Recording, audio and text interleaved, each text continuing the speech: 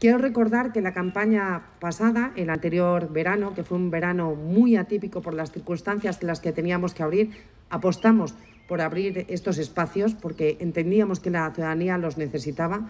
Fue también un éxito, un éxito por la aplicación de los protocolos COVID y un éxito también de usos porque tuvimos 519.000 usuarios, que es una cifra bastante, bastante cercana a la que se había producido en el anterior verano. Por tanto, es un éxito de modelo de gestión.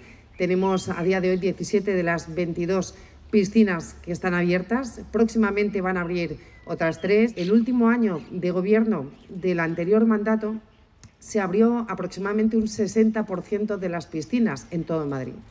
Y quiero recordarlo hoy porque este año, después de solo dos años de mandato, hemos conseguido abrir el 90% de las piscinas en todo Madrid. Antes de este equipo de gobierno tampoco podía uno hacerse con una entrada a través de la página web de Madrid. Hoy en día no solo se puede acceder a través de la página web de Madrid, sino también eh, desde la aplicación móvil, eh, que yo creo que es importantísimo porque garantiza la accesibilidad, es sumamente cómodo y sobre todo nos permite eh, garantizar que se va a cumplir el aforo que, como saben, este año va a ser del 60%. Hemos reservado un 10% para personas mayores y también personas con discapacidad y para poder también eh, ofrecer las entradas, porque sabemos que no todo el mundo eh, tiene las mismas, eh, la misma accesibilidad a, los, a las aplicaciones móviles para que se puedan comprar también aquí las entradas.